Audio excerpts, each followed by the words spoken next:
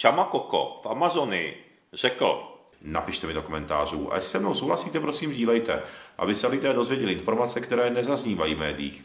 tak na něj poslali čaroděje.